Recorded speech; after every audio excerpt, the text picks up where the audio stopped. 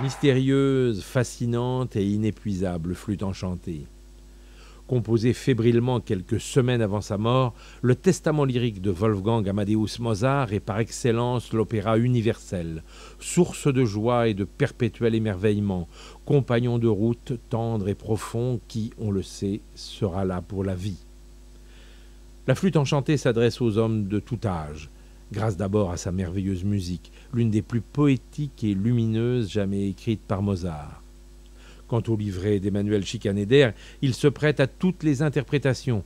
Est-il un conte pour enfants Un récit ésotérique et initiatique empreint de symboles francs-maçons Ou plus simplement une fable populaire et allégorique Mariage radieux d'idées nobles et de péripéties puériles que la main divine de Mozart éclaire, ordonne et équilibre?